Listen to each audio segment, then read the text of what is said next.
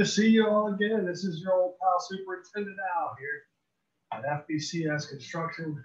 No helmet today, just uh, we're in the office today unless we get called out to, uh, as the uh, concrete folks are here to start pouring foundation for this large building. We're glad that you're here. We're here to build our lives on the foundation of Christ and his love, right? That was our first foundation. The second foundation is the foundation of forgiveness. So today we're going to be looking at the foundation of work. If you have your Bibles or your electronic devices, I got mine today. So we can turn to um, Matthew chapter 26. We'll be in verses 36 through 46 you have your nice app there, you can do so, which is awesome. I like to do that mine, so turn to it. You, I, I, uh, so we're gonna, you can do that, or you can use your own. Also have your student guide with you. Today's foundation three, foundation work.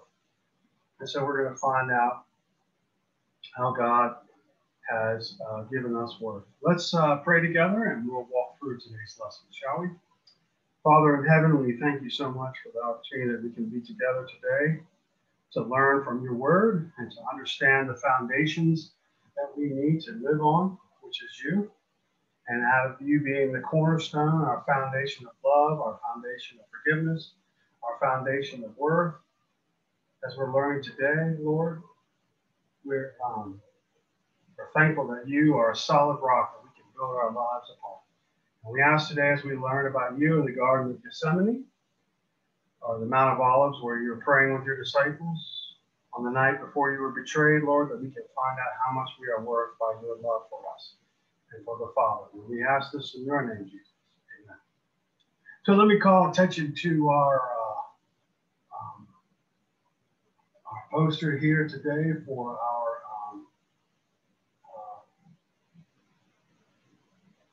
is this no greater love than this to lay down his life for his friends.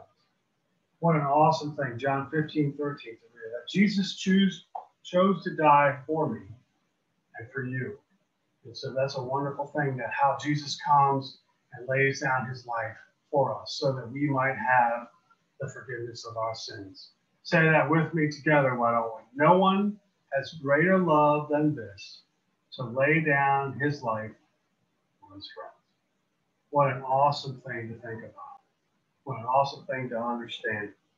And so um, Jesus made the ultimate sacrifice for us. So I ask you to reflect on that and think about this. If Jesus makes the ultimate sacrifice for us, what will we sacrifice in order to spend more time with Him? Maybe it's less time on social media.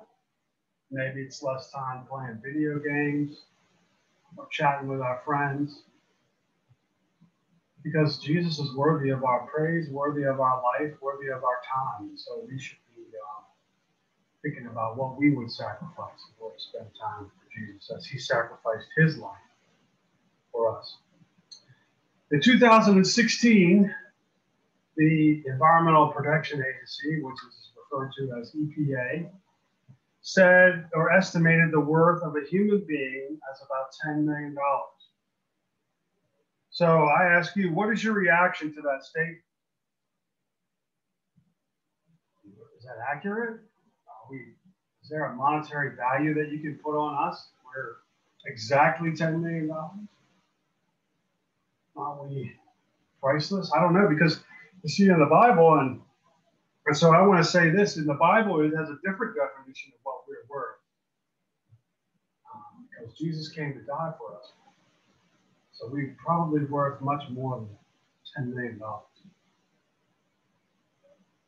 How do you define it? Well, Merriam Webster Dictionary as a monetary value or the value of something measured by its qualities or by the esteem in which it is held. That's the way the world calls it. But I but I tell you, the VBS poster, you know, that's here, which we just read aloud, that no greater love than this, someone laid that he laid down his life for his friends, that tells me that the worth is priceless. So I just ask us that we would think about this. Jesus' love for us gives us worth. His mercy, his grace towards us gives us worth. We are made in his image, gives us dignity, not only to him, but to one another. And so this means that he's still working in us also. And so we are always a work in progress, as our verse reminds us. For the week, it says, Philippians 1 6, I am sure of this, that he who started a good work in you will carry it on to completion until the day of Christ Jesus, meaning that day when he, re- he returns, or the day that we go home to be with him. God will complete it. And so let's pray, shall we, uh, for our lesson. Father, we pray for our lesson now as we prayed earlier to open up this lesson. We ask that you would um, move in our hearts with your spirit, get down deep in us, Lord, and open up those areas that need to be open, comfort those areas that need comfort or hurting that need comfort, correct those areas that are wrong, um, and encourage those areas that need help, and challenge those areas that need to be challenged. We ask this thing as we read your word from Matthew 26. Amen. So we're excited to see this and we're looking forward to this today. So I hope that you uh, have this. So let's um, turn to your leader book at page 15. And so we're going to look at this list. This I want to look at the parts of the crane here. You can see it there uh, as you see the page. It's all got the, the lettering and identification on there. And so they're identifying the uh, base right at the bottom.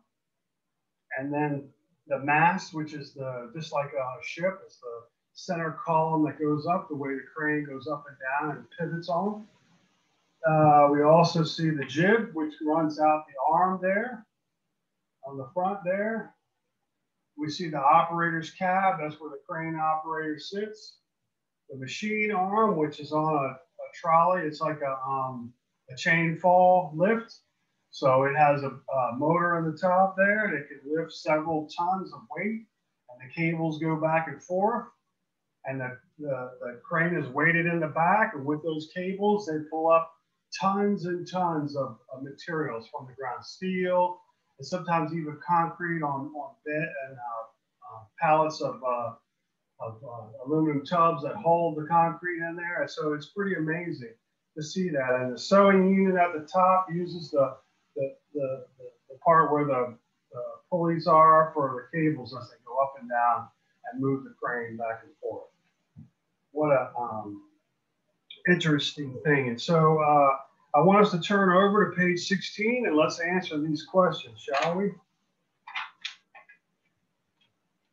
So we were looking at firm foundations, right? There's, there's many foundations that we can build our life on in this world, but there is only one for certain firm foundation. That's Jesus Christ. So let's take a look. Uh, why don't uh, huge tower cranes topple over, especially since they have no support wires? Uh, that's a pretty good question. But we know from the mast, right, as it tells us there, the tower crane is anchored into the large concrete pad at the bottom, which usually measures 30 feet by 30 feet by 4 feet and weighs 400,000 pounds with a large anchor bolts embedded deep into the pad. So that's a lot of weight holding down the crane so that it doesn't topple over. Now, when you, you see that, let's take a look at the questions it's asking us based on those cranes. Number one, the closer the load is positioned to the mast, the more weight that the crane can lift safely. Number two, the typical tower crane has a maximum unsupported height of 500 feet. Number three, this is true or false now, as you can read that. The maximum load a typical tower crane can lift is 39,690 pounds, but the load cannot be at the end of the jib, meaning the long arm. Number four, to rise to its maximum height, the crane grows itself one mast section at a time. So as you look at those questions, let me just go on to say about that. So as the they build it to a certain height, the crane, and then there comes a time when they'll need to add to it. Sometimes as the building goes higher, they'll add another section of the mast, mast to the crane so it'll go a little higher to lift things to other levels of the building. So let's take a look at our answers. Number one, the closer the load is positioned to the mast, the more height the crane can, safe, can lift safely. And that is true. That is true. Number two, a typical crane has a maximum unsupported height of 500 feet. Number two, that is false. It's actually 265 feet. Number three, the maximum load a typical crane can lift is 39,690 feet or not feet per pounds. But the load cannot go to the edge of the jib, right? That's the arm, and that is true also. Number four, to, ri to rise to its maximum height, the crane grows itself one mast section at a time, and that is true. Awesome. So great job on that. Let's get ready to build. Uh, as we saw our session three poster, which was what we talked about, no greater love than this, that a man, that a friend laid down his, that a man laid down his life for his friend. John 15, What a beautiful thing. I want us to call attention to that because Jesus cho chose to die for us. Let's um, take a look at that and then let's recite that together, shall we?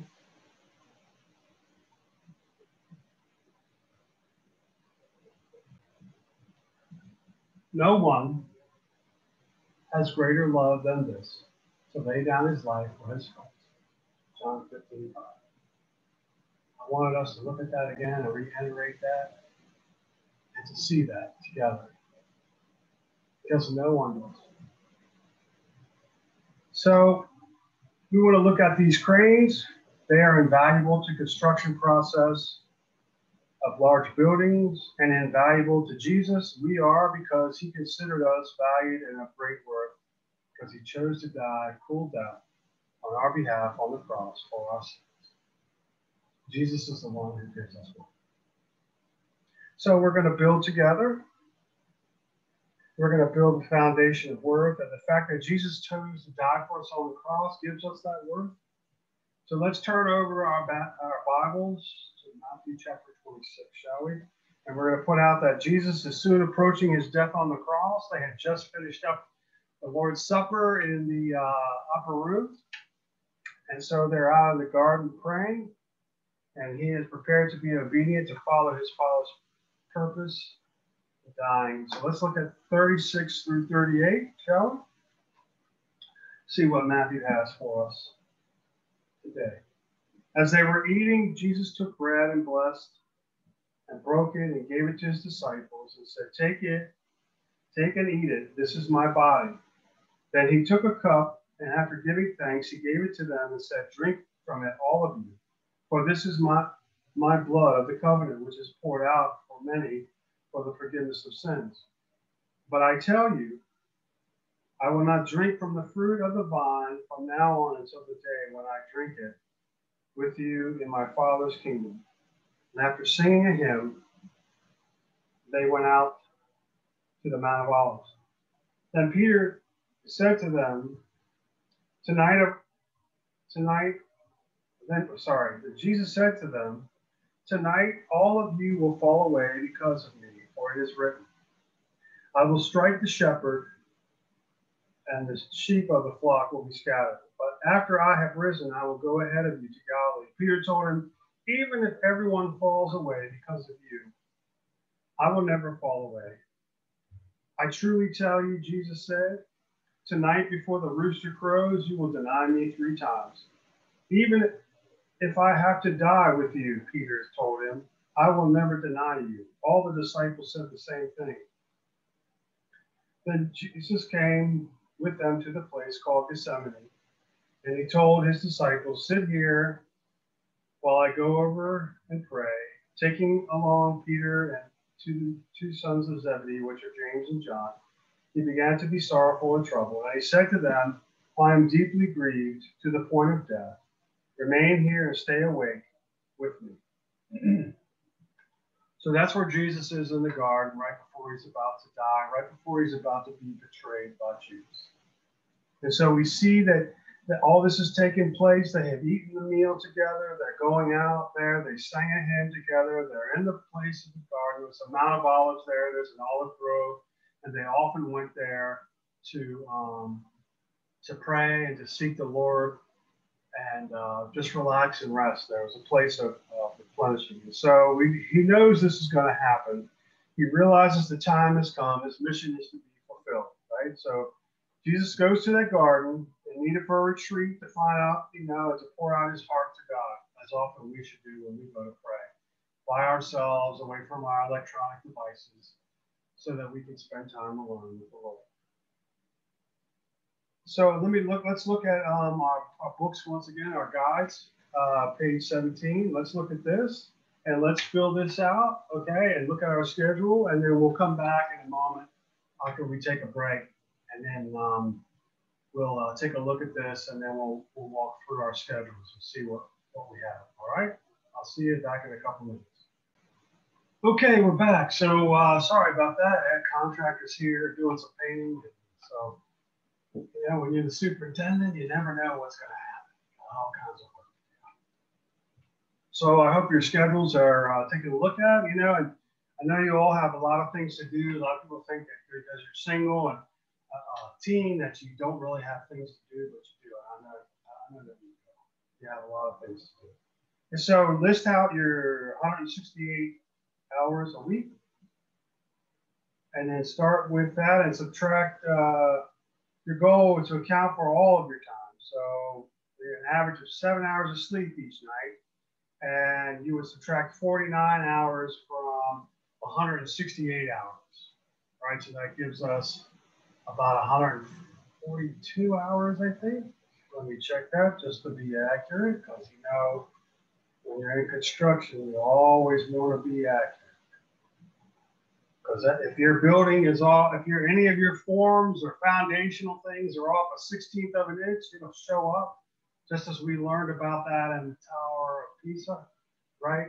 The foundation turning perpendicular, or this way, sorry, so let's see, 168 minus 49 equals 119. We have 119 hours where we are awake and doing activities each week. So from there, you've written out your hours. And so once you have accounted for your 168 hours, put it on a pie chart. So the, the amount of hours, you know, you can do, uh, where's my pen? Here it is. So you can do it like this. work, let's say that's um, 80 hours, or maybe it's a little bit more, right? So we'll just do that and then say that, like mine here, it says work like this. And so it's work and do your, you know, your studies, school, you have to account for school. So anything that you do during the day and each week, you have to account for it. So that's what your time is. Do the pie graph here and you'll see um, what your time is. And so we want to uh, ask ourselves when we go through this is how much time, how, where do we spend most of our time? I guess I should say how much time, but where do we spend most of time? At work, study, school, what is it? Um, and then also ask us ourselves, how much time do we spend with God? Or with God? Things such as attending church and praying and reading our Bibles, so on if uh, common sense media tells us this, that the average teen spends about nine hours a day online. Now, it could be up or it could be lower, I mean down, but uh, you know, where are you with that in your online time? You got to put that on there too, because that's a, a deduction off of it. How much are you online? Are you on Twitter? You're on Facebook, Parler, Instagram, TikTok what whatever you're on, um, how much time are you on there? And then uh, what would you cut back in order to have that time with Jesus? Have that time with God. So mark it on your calendar or schedule what you would change right? How much would you give back, get a change so that you could get that more time alone with the Lord? so let's continue on, right? So we've changed our, our so we want to look at uh, prayer, right? Jesus is praying in the garden to the Father as he often did. He went off alone, he got by, by himself, and he prayed with the Lord and talked with God. And we talk to God and we listen, right? And I want us to take, think about this too. As when we're alone with God, um, we should have his word with us because then we get to hear God speak to us through his word. And so, what God is telling us through his word is most important. Even though what we say is important to God, it's most important for us to hear from God and his word so that we can understand his will, his good, pleasing, perfect will. Like, how else will we know what we're worth if we don't know God's word? That teaches us and tells us that God will complete the work that is in us right until the day of Christ Jesus. We're not alone, that God is going to be there working like we are on the job site and working in the concrete and putting the rebar in and pouring the concrete and having the cranes bring the steel over and attaching them together. God is working in us through his spirit, using his word to teach us, to mold us, and shape us. He's also using other Christians, your parents, your teachers, no matter if they if they are believers in Christ or if they're not. God is still using all those people in your life to mold and shape you. And He's also put those people in your life so that you can help mold and shape them by sharing with them who Christ is and how much they are worth in Christ, just as you are. So we've cut back some time. We've listed that on our schedule so we can improve our schedule, right? God gives us wisdom and direction also from those times along with Him to pray. Point, I want you to point out to that that Jesus didn't go alone. He went took it Peter, James, and John with him. And what do you think? Why do you think he took these three with him? Well, I think we can tell this. So all the disciples go. Some of them stop at the at the edge of the garden or a little ways into the garden, and then Jesus goes on to a little little place further for privacy. And he takes Peter, James, and John with him. Those are the three folks that Jesus has spent the most time with. Not that he has not spent a lot of time with the disciples, but those were the inner circle of Jesus, his closest disciples. So that's why they took them. So um, when you look at these and you see the disciples, right, and those folks that are around you, we need those folks too, right? We need people to pray with us and pray for us. Just as um, we learned today from our admin that her um, her cousin uh, Brenda Gaskin, uh, we're going to pray for her right now. She's having um, nasal surgery, so let's pray for her. Father, we thank you for Miss Brenda and that you would be with her guide her. I pray that you would uh, walk with her through this surgery. She's uncertain about it. Lord, it's the first one she's ever had, and I pray that it will fix the issues that she has with her sinuses so that uh, to your glory and for her good, we ask that in Jesus' name. You see, we need people to pray for us. We need people to take care of us. So I, I, we need friends to help us. But if we look at the disciples, what kind of support did they provide Jesus in this garden at this time? Doesn't mean they didn't before. We need other people in our lives to support us, to encourage us, to challenge us, to correct us, and to do life with us. We must do the same for others. We must stand with them, help them, encourage them, challenge them, comfort them, because God is using us in the lives of other folks. Let's wrestle with this. Jesus showed his humanity in the previous verses here. He experienced deep agony and he was burdened by the world's sin. Can't imagine that. God being weighed down by our sin. And he knew he would face the cross by crucifixion on the cross. I mean, he knew that he was going to see the cross and his crucifixion.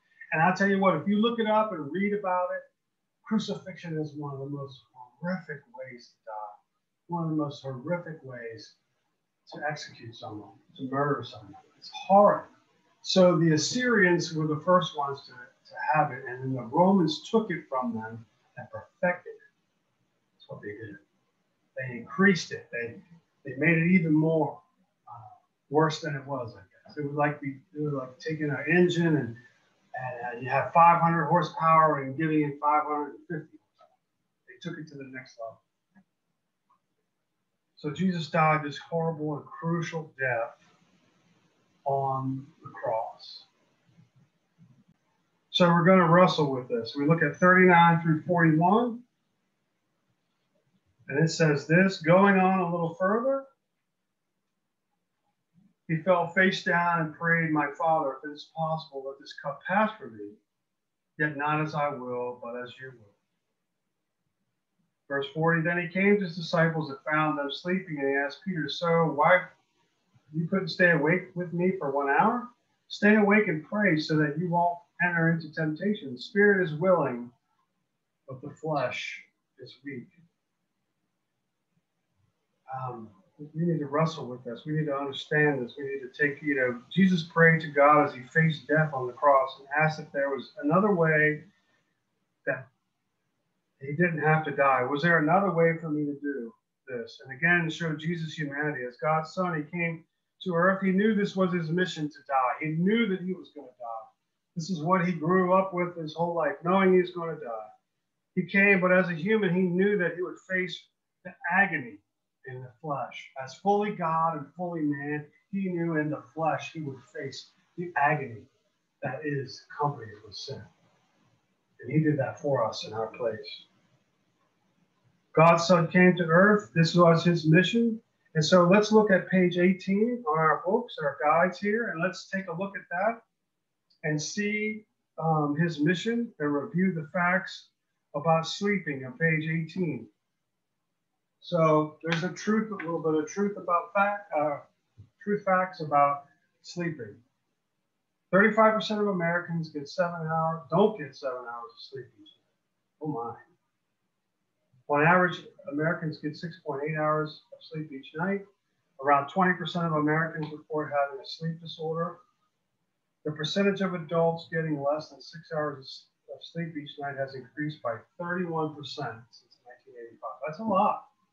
I hope that you are guarding that for yourselves, that you at least get seven hours of sleep each night. I know sometimes it's hard as a teenager. Um, you got so many things to do or, or activities in school and with the COVID going on and going to school maybe. And some of you are doing hybrid classes where you're there a couple of days at home a couple of days. May um, interfere or uh, upset a little bit your schedule. So I just pray that you would um, guard your time of sleep, that you would look to get those hours as each night. Seven out of 10 college students reportedly don't get adequate sleep. Each year, sleep deprived of sleep deprivation costs the U.S. 411 billion dollars. Wow, because they're, you know, maybe have a prescription to help them, or do different things to help them meditate, or buy CDs, or use programs to to help them sleep at night. Jesus asked his friends to stay awake, to be alert and pray. Instead, he comes back, and the, the inner three, James, Peter, and John, uh, find them sleeping. Why do you think they could not stay awake? They could have been tired. They, you know, they, they could have eaten a lot of carbs. You know, all the bread that they ate at the Last Supper might have made them sleepy. You know, carbohydrates like pastas and things do make us sleepy because they kind of slow down a little bit our digestive system. And then ask ourselves at the end here. We could have been tired from the journey, the walking around, or the days of events. Uh, you know, we could have been tired from uh, being at Bethany, you know, walking from Jericho up to Jerusalem. I mean, Jericho is the lowest spot on the earth, like 1,400 feet below sea level, and then you have to walk up that plus another 4,500 feet up to Jerusalem. So that's a pretty steep walk. Maybe they were tired from that. And then finally, what do you, why do you think sleep is so important? We need sleep. Our bodies need to be recharged. We need to spend time in bed, and that's the way our bodies. Our bodies will never overcome that sleep deprivation until we get to sleep. We must get to sleep. So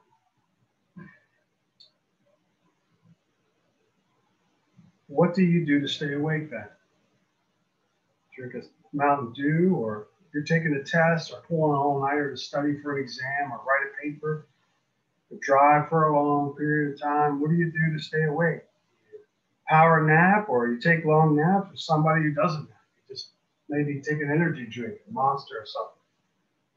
My boys uh, had me do that one time for a, for a men's day. We, we went out and got something to eat and some video games to play, and they were like, "Oh, Dad, let's uh, let's get a monster. Let's try it out." I said, "Okay." So we did, and they were teenagers then, and uh, I did, and I was still up at two o'clock in the morning, and we drank those at lunchtime on Saturday. Sunday morning, I was still awake.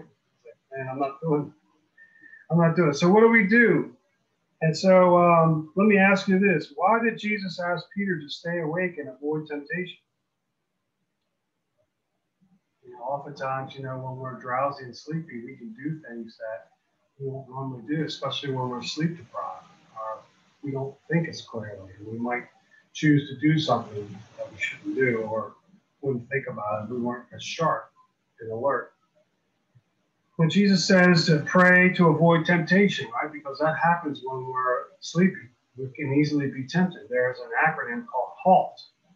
I learned years ago from Dr. Stanley, Charles Stanley. He said this when you're hungry, angry, lonely, or tired are times when you are tempted and you are more likely susceptible to, to give in to temptation. So we need to be alert, we need to be prayed up, we need to be read up in His Word and prayed up with the Lord so that we can avoid this temptation and flee when we need to flee. when you're facing temptation, it will benefit us all to stay committed to God and prayer, right? Jesus is being, um, I'm sure, being tempted here to, to not follow through with the cross. I'm sure that Satan is beating him up over the head and seeing but he knows he's going to go. The only reason why Satan would ever try to tempt because he's in the flesh because he did that when he was in the garden. I mean, not in the garden, but he was in the wilderness. He was beginning of his ministry. So, will it's resolve? Let's ask uh, this. Let's ask our questions. How do we resolve these issues? So, let's look at uh, 42 through 46. And we'll read that. And it says again, the second time he went away and prayed, My father, if this cannot pass unless I drink it, your will be done. See, Jesus is is saying there differently the second time. He went away and he prayed and he said, My Father, if this cannot pass from me, as some, as some uh, versions say, unless I drink it, your will be done. And he came again and found them sleeping because they could not keep their eyes open. After leaving them, he went away again, praying a third time, saying the same thing once more. Right? My Father, if this cannot pass from me or cannot pass unless I drink it, your will be done. He prayed the same thing once more.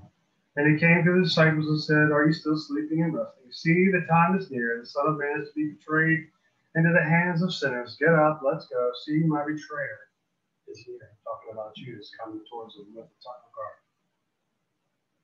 And so that what we see. We see that we have times that we should wait for God's answer to be revealed when we pray. But in the meantime, we must submit to God's sovereignty and his will for our lives keep doing what God has already called us to do as we're seeking answers. Let's add, uh, what what did Jesus know to be God's will through his time of prayer? He knew he was not just passing time. He wasn't just counting the minutes. Oh, let me get to the next thing, right? He knew his time was near and he was about to be betrayed. He knew his time had come because he told us so, his disciples. Jesus, you know, Jesus resolved to totally submit to the will of the Father so let's take a look at page 19 and look at these questions and think about submission, submitting to the will of the Father. Jesus ultimately submitted to the will of God because he loved and valued each of us, and he loved the Father. He resolved to move forward with what lie ahead for him. So here's a question on a daily basis To whom do you submit on a daily basis? Your parents, teachers and school faculty, the police, church leaders, God, other. You see, we should be checking all of those on a daily basis. we may not interact with the police all the time or church leaders every day, but we are interacting with God, we're interacting with our parents, we're interacting with our teachers. And we should do what they want us to do. If it's not immoral or criminal, it's not against God's word, or if it's not criminal against uh, the laws of the state, then we should do it. But when it conflicts with God's law, then we are to follow God's law. But only So, how do we submit to the authorities in our life? Do we do what they ask us to do, what they command us to do? Uh, mom and dad, our, our grandmothers, or our guardians asking us to take out the trash. Do we submit to that, or just wait, like we talked about earlier uh, the other day, about when people ask us to do stuff? If our teacher tells us to sit down, what do we do? Do we just submit to that? Because we are to submit to the authority as believers in Christ. That is part of being a believer in Christ, is submit to authority. If the police pull us over, what do we do? When the police tells us, to, when the policeman or the police woman tells us to do something, we are to do it when they tell us to. Whether we like that or not, keep your hands on the wheel, put your hands on the wheel, or put them on the dash. I need your license and registration. Don't ask what for, give it to them. Your parents ask you to do a task, yes, and do it with joy. I'll do it. I'll go and do it. Not my will. That's what Jesus is telling us. But your will be done, Father. So when our parents ask us, it is God's will for us to obey our parents. Is God's will for us to obey God. and It is God's will for us to obey our, obey our teachers. God has placed those authorities over us. He is the one who's placed them there the president, the Congress, um, the, the, police, the governor, the, the county council, uh, county executive, the local mayor, the local town council, all these, the laws that God is there. You know, we're to honor God by submitting to those authorities. I want us to think about this. I remind you of this and remind myself, of course, that even though disciples fell short by falling asleep, here, as we often do when we get tired. Over and over again, Jesus loved them and died for them. And despite their failing, he continued to work in their lives. And God will do the same for us. So let me ask you this. Uh, let's apply these truths, right? I have a $20 bill. As you can see, Jackson's on there. And so how do we know? Because it says 20 on there. How do we know it's real? Because it has all the authenticating marks. It's got the line through it. It's got all the things listed on there. We can see the line through it right there. It says and all the new marks on there and the faces that you see down below and in the corners and all that stuff. And um, I'd like to say who wants this bill? Everybody would want my $20, but you can't have my $20.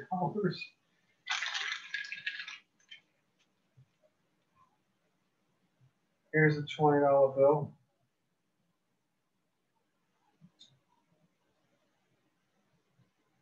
Is the value or the worth of this bill